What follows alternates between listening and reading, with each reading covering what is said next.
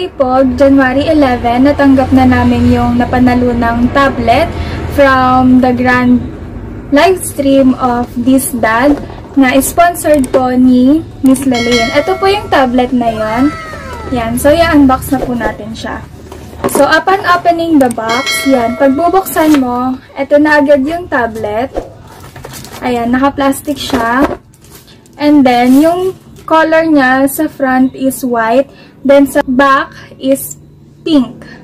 Ayan. Sabi, sabi dito, ang brand niya is Samsung Galaxy S12 Plus. Tapos, sa loob pa ng box, meron tayong charger. Yan, charger. Ito, alternative yata. Kapag nasira yung charger mo, meron ka pang pampalit. And then, ito, um, siguro, flash drive reader. Yung isasaksak mo yung flash drive mo dito, then mababasa siya ng mismong device. And then, meron tayo dito yung earphone. So, open natin yung mismong tablet. Meron siya ditong parang ano, parang protective foam para hindi basta-basta ma-open. So, yung open na natin. Hindi siya nag-open. Lobat siguro siya. Try muna natin siyang i-charge.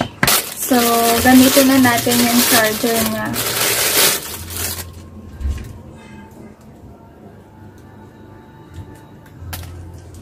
Mahaba-haba rin siya. Ayun, lobat kasi.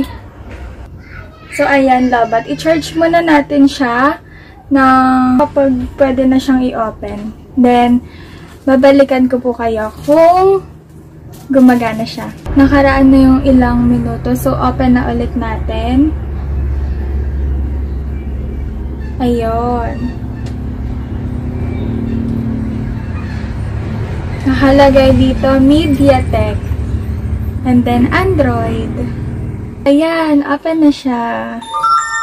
Ayan. Meron din pala siyang fingerprint sensor dito. Ang ganda niya! Ikakwento ko lang paano kami nanalo ng tablet na to. Kasi, ba diba, ang game nun is yung Bingo Blackout. So, pipili ka ng 25 numbers and kap dapat lalabas yon doon sa ano sa bingo number na generator. And then ang ano nun, ang nangyari is last two na lang. So ang last two numbers or yung winning numbers namin is 5 and 23 which is birth date namin ng kapatid ko. My birthday is March 23 and yung kapatid ko naman is January 5. So, nung time na may nagsuplado na, sabi, hindi raw counted kasi hindi raw nakapag-register, sadly. And nagkaroon pa ng isang chance. So, nung ano, nung time na yon is sobrang kinakabahan na kami. And, ayun nga, lumabas na unang number is 5 and then last is 23. So, ayun, suplado. Kaya nakuha kami ng tablet. Thank you po, this dad and Ma'am Lalaine and sa Tolado Sisters po. Ito pong tablet na to gagamitin po namin to sa online class and other works. So, ayan po. Maraming maraming salamat po.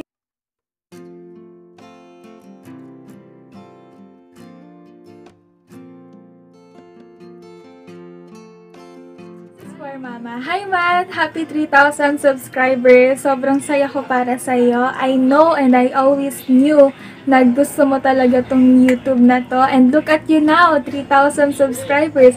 So, alam ko na ang hirap at mahirap talaga ang pag edit ng videos, pag-monitor, lalo na't may trabaho ka. Thank you po sa lahat ng sumusuporta kay Mama.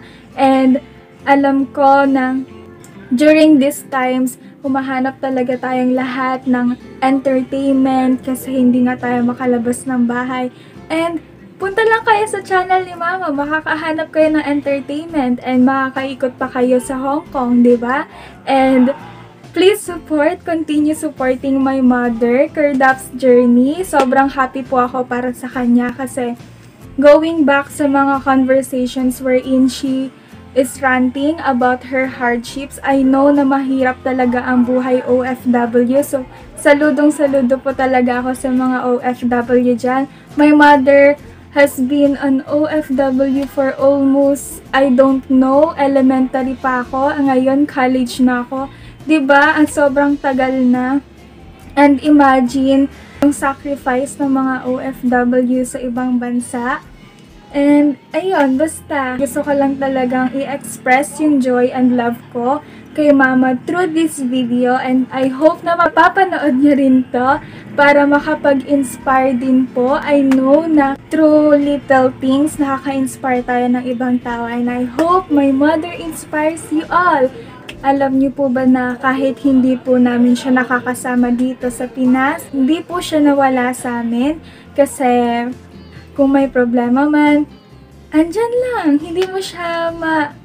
Hindi mo mararamdaman na sobrang layo niya. Ganon. Ganito po talaga ako kasaya para sa nanay ko. And wala akong ibang masabi. I'm so speechless na nararating ni mama ngayon. I'm so happy and sana magtuloy-tuloy pa to. And I am wishing you all abundance and prosperity. So, this video finally ends here. Stay safe everyone. Bye!